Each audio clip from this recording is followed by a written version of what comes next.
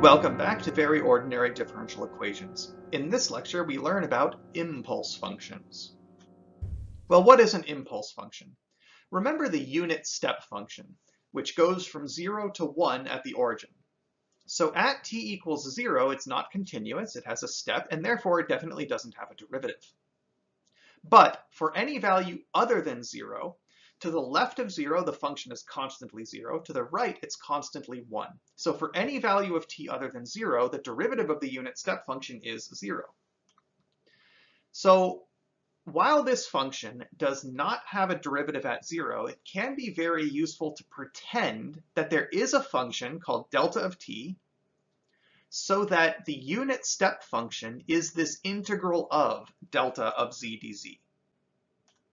If such a function were to exist, and if we could apply the fundamental theorem of calculus to it, then for any t other than 0, u prime of t would simply be delta of t. By the fundamental theorem, if I took a derivative of this right-hand side, assuming it all works, I would just get delta of t. So if there is some crazy function delta that satisfies this equation right here, other than at 0, it must be given by u prime. But u prime is 0 other than at 0, so delta of t is 0 everywhere except at 0. So somehow what must happen is that this function delta is 0 everywhere except 0, but now consider any positive epsilon. If I evaluate u of negative number, I get out 0. On the other hand, assuming this formula works, this is the integral from minus infinity to minus epsilon of delta of z. However, if I evaluate u at a positive number, I have 1. That's how the step function works. But according to the formula, I will have this integral right here. So therefore, if I take the difference of these two integrals, I'll have 1 minus 0. Well, that's just 1, but the difference of these two integrals is the integral from minus epsilon to epsilon delta of z dz. So this crazy function delta has to satisfy this equality. For any positive epsilon, no matter how small, the integral from minus epsilon to epsilon must be 1. So this function is 0 everywhere except for 0. But if I integrate on any tiny interval around 0, I get a full unit of area. That's very weird. So we can kind of visualize this function delta as having an infinitely large spike at zero. So even though there is only a single value at which the function is not zero, it is so large at that single value that it accumulates a single unit of area under it. Now on the one hand, this is clearly not a reasonable real valued function like we're used to dealing with. It has an infinitely large value that produces a full unit of area under a single point. That's not how integrals work in our experience. It is possible to formally justify this function through what's called the theory of distributions. It's well beyond our scope, and it's an extremely useful function for modeling certain events, so we're just going to go with it. So we're going to define the function delta of t, the impulse function, to be this function which satisfies some seemingly contradictory things. First of all, this equality is satisfied. The unit step function at t is the integral from minus infinity to t of this impulse function delta. Now on the right, here is u of t. So this must be the integral from minus infinity to t of delta. So what is the graph of delta going to look like? Well, for any negative value of t, u of t would be 0. So the integral from minus infinity to anything negative of delta must be zero. So for any negative value, delta must be zero. But for any positive value, delta must also be zero. Because we know that delta is zero for any non-zero value, the fundamental theorem of calculus here would tell me that u prime is delta wherever u prime exists, which is everywhere other than zero. But what happens at the origin itself is the function must have this infinitely large single value so that somehow under this single point there is a full unit of area. So the impulse function is zero everywhere except at a single point where there's this enormous value that causes an actual gain of area.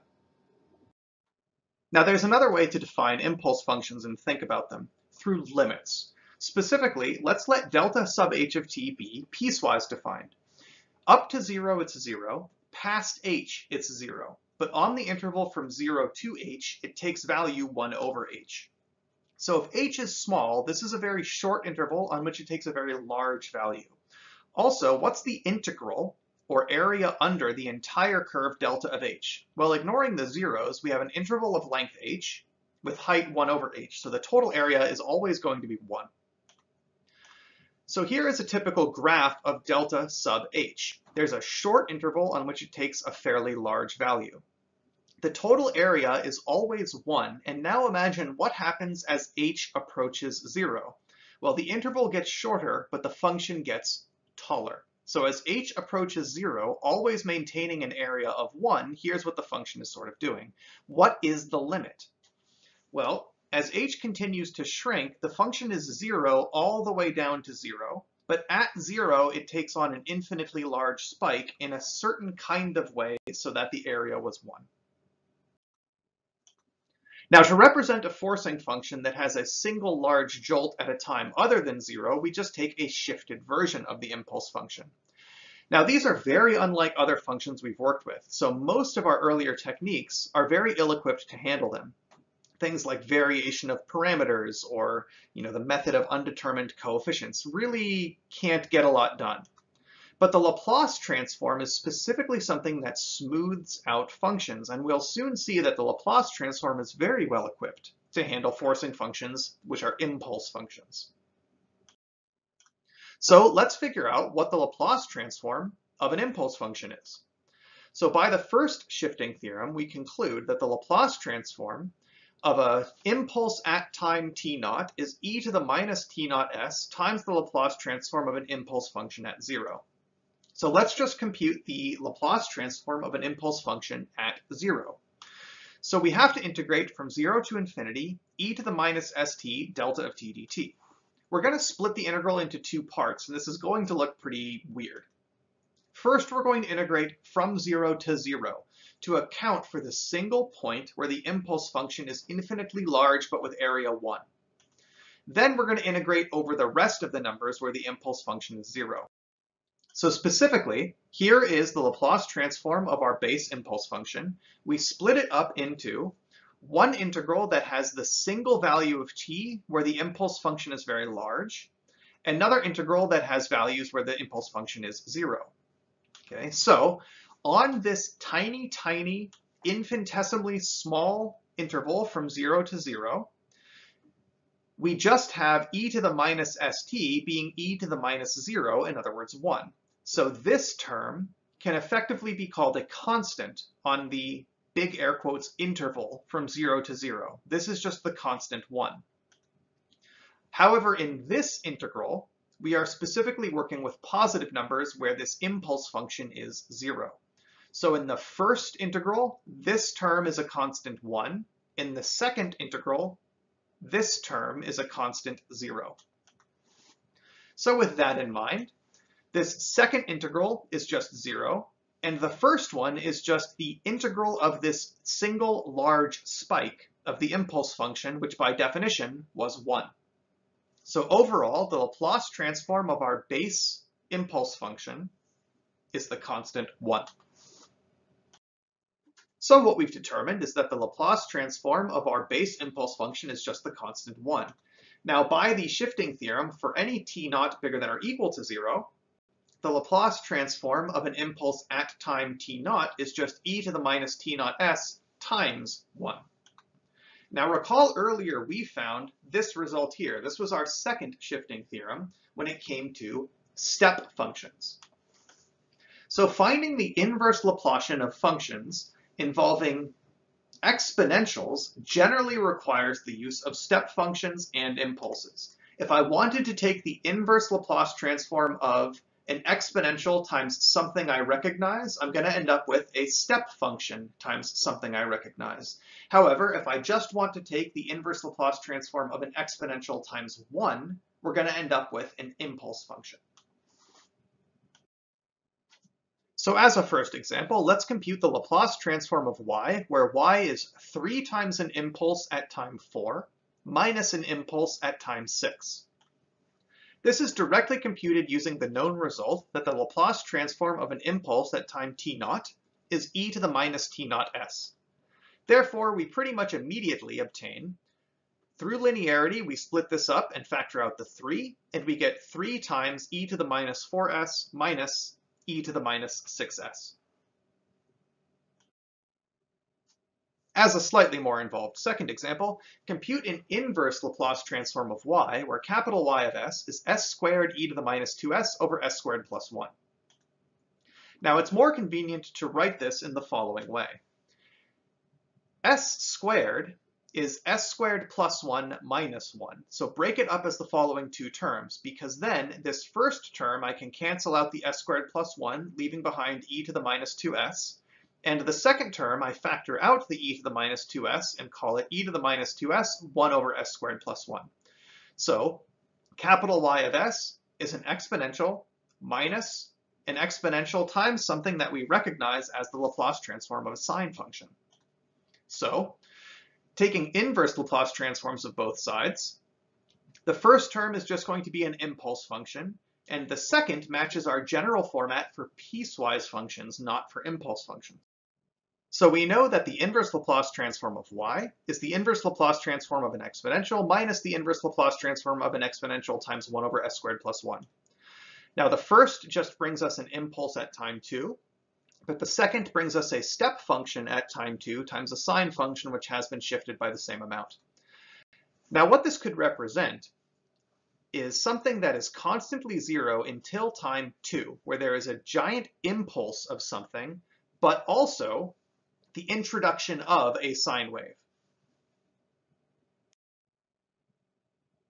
As a third example, let's compute the Laplace transform of y, where y is this infinite series i goes from 0 to infinity. At time i, we have an impulse, however, it is scaled by the factor 1 over 2 to the i.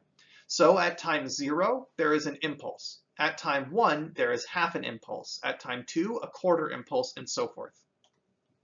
So there is a sum of a bunch of impulses at integer times, but of exponentially decreasing magnitude. The Laplace transform, however, is not particularly difficult. So if I take the Laplace transform and I bring it inside the sum, the factor 1 over 2 to the i stays there. And we already know that the Laplace transform of an impulse at time i is e to the minus is. So here we have it. Here's our Laplace transform. So we've represented our Laplace transform as an infinite sum, but we can actually simplify this. Notice that this is just e to the minus s over 2, all raised to the i. This is now a geometric series. So the geometric series going from index 0 to infinity of something to the i is 1 over 1 minus that ratio, e to the minus s over 2. Multiplying everything by 2 simplifies this a little bit to 2 over 2 minus e to the minus s. So altogether, what did we discuss? Impulse functions are not exactly well defined in our usual sense, but it is possible to define them formally, although we don't really go over the details, but they represent something very useful, something that at a singular moment in time has a very large jolt so that the integral actually gains area at one unique point in time. The Laplace transform of such an impulse was actually quite easy to compute in this way. Therefore, it's reasonable to expect that we're going to be able to solve differential equations involving impulse functions in the forcing term. We're actually going to see that problems that have impulse forcing functions will generally produce solutions involving step functions.